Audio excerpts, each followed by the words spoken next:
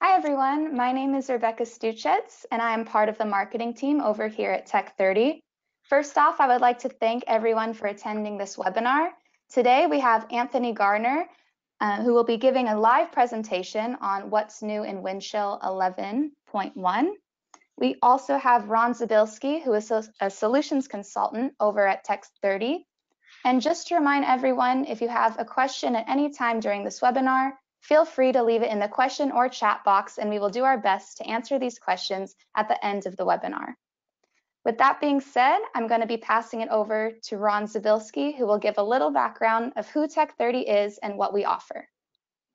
Thank you, Rebecca. Uh, thank you, everybody, uh, for attending. Uh, as we conduct this webinar, I encourage you to engage with us. You'll be able to ask questions and leave comments in the sidebar on the GoToWebinar panel. Even if you have questions or comments that don't relate to spe today's specific uh, topic, feel free to ask them and we can address them in a follow-up email or future webinars. And please view Tech30 as a conduit to get feedback to the PTC Windchill product managers and development team. We'll also be happy to receive comments or questions by email anytime after this webinar. So again, as Re Rebecca said, my name is Ron Zabilski. I'm a solutions consultant with Tech30. And Tech30 first is a value-added reseller of PTC software products. Second, Tech30 is an engineering company that helps engineering companies do engineering. We do this with the tools from PTC and other OEMs to help our customers make the most of those tools through training and engineering services. We strive to get to know you and your business. We are at our best when we can expand the customer's business and build a community by connecting customers who may benefit from networking with each other. So Tech30 was established back in 2002. We currently have over 80 employees with more than 50 engineers.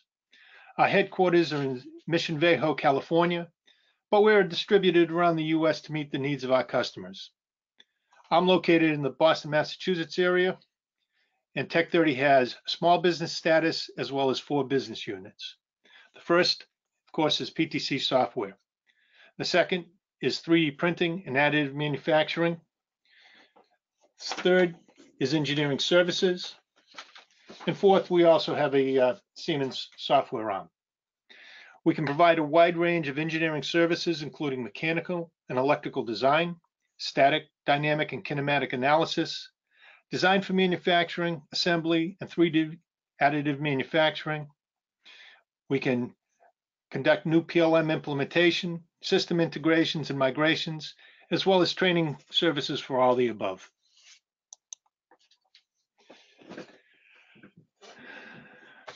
Here are, um, are some of the, uh, uh, well, these are the products uh, uh that we uh, support from PTC as a value-added reseller. Creo, Windchill, MathCAD, ThingWorx, and Vuforia. We also have a broad portfolio of 3D printers from companies that we represent. You can have a look at these technologies on the page, and I won't go into a lot of detail here, but just keep in mind we fo focus on industrial use cases for 3D printing, both in plastics and metals. We help our customers make additive manufacturing become part of their finished product or use it for tooling, fixtures, and jigs. If you do have interest in these areas, please contact me afterwards and we can have a conversation about your use case. So PTC's Windchill is a product lifecycle management system used for mechanical, electrical CAD data, as well as documents, text files, PDFs, and other related data. It can manage not only Creo files, but files from other CAD applications such as SolidWorks, CATIA, NX, Solid Edge, or Inventor. It's used to manage the version and revisions of all of these types of files in one application.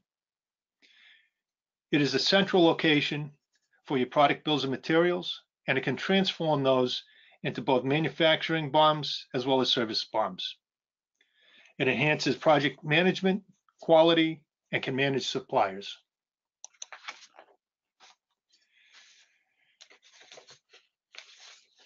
Windchill is a single source of truth for product data and processes. It manages repeatable processes throughout the life cycle. It maintains quality throughout the process and drives productivity. In this webinar, Anthony will inform you of the new functionality within Windchill 11.1. And with that, I'm going to pass it over to Anthony.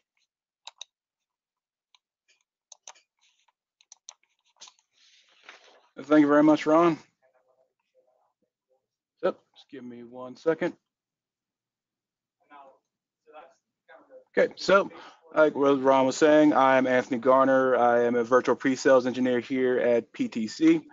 And what we're going to be going over is specifically the what's new with Windchill 11 and also 11.1, which is our latest release for that. So for that, let's get started. So the first big thing that has been new, specifically for what's new in Windchill 11, is Nat Windchill uh, PTC Navigate, which is a suite of role-based applications that's built on the ThingWorx platform to allow more stakeholders to have access to the information they need to have. It is a scalable user interface that allows those in context of their roles to get access to the information that they need to be seeing, whether they're in procurement, whether they're in engineering, whether they're in buying, everyone will have access to the information that they need to be seeing, no more, no less. Also, along with that, we have now a PLM Cloud software as a service offering for those who are interested in maybe moving away from an on-prem offering.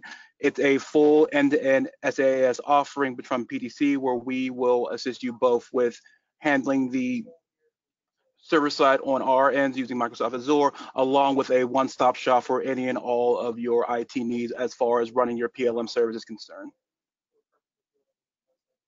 Okay, so what's have been improved in Windchill? One of the big ones is we have improved our searchability. So it's now a lot easier to find the right information. You can also do it much quicker. We now work with a unified search user interface. We now have the ability for complex queries for nested and ors, along with faceted search results, and allowing a seamless integration with PartsLink classification and those traditional attributes information searches that we were using beforehand. We also have improved the process of the transformation for bill of material using MPMLink. We have moved to a new HTML, HTML UI as opposed to the previous version where we're using a Java applet UI. And I'll show you a little bit later in a embedded video demonstration that the new HTML UI is much, much faster than the applet that we are currently using before. And along with that, we have streamlined our MPMLink user interface. So it's much easier for people to come in, transform and compare their EBOMs or MBOMs to each other, allowing for a faster time of manufacturing and a reduction of errors. And ultimately, that is only the tip of the iceberg. Like I was saying, this is the version of SMP 11, but we've also increased our ability for Creo elements, direct management updates, automatic project updates, a new process introduction process updates, along with a new system monitor, or turn version of 4.0, and an expanded customer experience management quality module. So getting a little bit more granular, we're gonna go into what specifically has been improved with 11.1, which is our latest release for Windchill 11.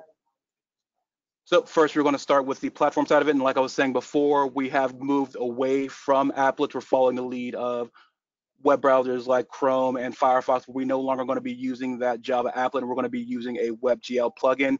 And like I was saying before, it's going to allow for an easier and quicker process of working within your Windchill system. And so let me just print a demonstration demo right here. So to our left is our new HTML-based editor, and we're comparing it to our previous applet-based editor. So as you can see, I'm already in the process of working with my workflow editor within 11.1. And to the right, I'm still in the process of actually logging in and booting up my Java applet in order to actually get working. And if we keep our eyes to the left, I'm going to be finished what I'm doing with my work-based editor before I even have the chance to actually get started within my previous applet-based editor. So it's a way for quicker and more quickly, more efficiently working within your Windchill system going to the WebGL plugin as opposed to the Java applet that we were using in our previous release. Okay, and Windchill has increased our license compliance ability, so we still require a license file, so subscription time limits and user licenses will be enforced for the apps on Windchill. But also with that, you do have greater capacities for acquiring those licenses It'd be automatic through a connection to PTC. And with that, you'll have the ability for license usage reporting for Windchill's Performance Advisor and local reporting of those license uses. Okay. And we've made some increases to the overall usability of Windchill. One of the number one customer requested enhancements for Windchill is cascading attributes. Essentially, if I select a attribute at the very top level, it will determine what the next sub attribute I do, and it allows me to down select from that as opposed to just going through nested functions. So if I take a second, we can go through a demonstration of that. So here I have my CA group. I'm going to select my continent. That's going to limit down to my countries. That's going to limit down to my states, and I can limit it all the way down to our city. So a easier, robust way to down select what options you're going for within your Windchill system. Along with that, we've also had the ability to allow for rich text within the change management processes within Windchill. So the ability to bold, italicize, underline, create numbered and bullet lists, those are all now functionalities within the change management and the text editing within Windchill itself. And the final improvement that I'm going to go over for within Windchill is the ability for multi-CAD augmented reality publishing. So with that, you can take any of the parts that you have within Windchill and publish those as AR experiences. Essentially, you're going to take that, you're going to take that part, you're going to save it to your cloud essentially, and from that cloud, anyone with the Vuforia View app, which is a free application, will have access to will have the ability to access that representation, that visualization through the ThingMark that you're going to have within your Windchill system. You will have a certain number of ThingMarks within your system, which are simply just PTC branded QR codes, and it'll be a progressive save. So as you continuously save, it'll simply overwrite your oldest um, QR codes. So that's just a illustration of the ultimate process, but I'll show you what it looks like in the flesh from here. So here we're coming to our product context for this drive system that we're looking at here. And all I'm going to do is go deeper into that object itself, go to our action, and I'm going to publish that augmented reality experience. And that augmented reality experience is based on a product view zip file. It's not the entire CAD, so it's still fundamentally lightweight. And it still maintains robust security because you can only access those if you have the proper credentials within our system. So I'm just going to define some things, what our experience name is, what our um, surface is going to be relation to creating that augmented reality experience, the ultimate quality, and the ThingMark size, which is going to determine relative the actual size of our object when we first um, initialize the experience.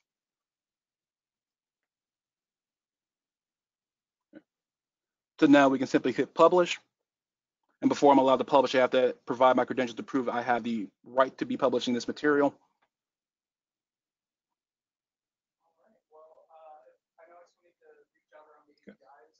So now that's been published, so I'm just going to go up to our quick links, and this is where I can see all of the ThingMarks that exist within our Windchill system as of right now. And here we've simply brought up that ThingMark, which is just a PTC branded QR code. And we're going to go into Vuforia View, which is going to allow us to scan that ThingMark and then bring up that experience, that augmented reality experience from here. As we can see, we have that a multi-CAD part that we are looking at before. We can zoom in, zoom out, and we can rotate it by our axis. Anything we would need to do to ultimately interrogate this object. So that is all I have for a demonstration of what's new with Windchill 11, Windchill 11.1. Um, thank you very much for your time, and I will pass it back off. Thank you, Anthony. Um, we actually have a question for you from Bethany Runyon. And her question okay. is, um, are there major changes from Applet to WebGL for visual, visualization in Windchill? Um, that's a good question. As far as the simple visualizations of how they currently function within Windchill, I haven't noticed any main difference. You'll still have the same visualization capacities in 11.1 with the WebG with the WebGL functionality. The only main difference that I've noticed is the ability to do those annotations directly within your Windchill visualization window. You no longer have the ability to do that within that visualization. You now have to bring that down into Creo view and do those annotations and save up that representation in of itself. Okay, great. Thank you. I think that answers her question. Um, and looks like there are not any more questions in our chat box, but if anyone ever has another question, you can email us at info at tech30.com. That's info te at tech-30.com. And just as a reminder, I highly encourage you to subscribe to our YouTube channel as we have previous Creo, MathCAD, and Windchill webinars and tutorials. Follow us on LinkedIn, Facebook, and Twitter as well to be updated on any upcoming events, webinars, and exclusive deals from PTC. Once again, thank you all for attending and have a great rest of your day.